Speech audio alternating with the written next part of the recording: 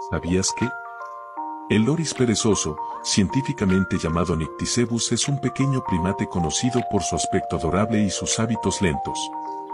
Sin embargo, posee una mordedura venenosa. Se encuentra en varias regiones del sudeste asiático. Su mordedura es el resultado de una adaptación única en su sistema de defensa.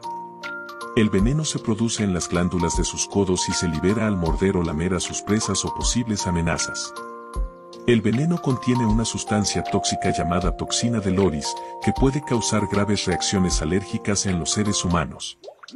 Los efectos pueden variar desde dolor intenso y hinchazón hasta síntomas más graves como dificultad para respirar, arritmias cardíacas y, en casos extremos, incluso la muerte. Es fundamental evitar el contacto directo con estos animales en su hábitat natural.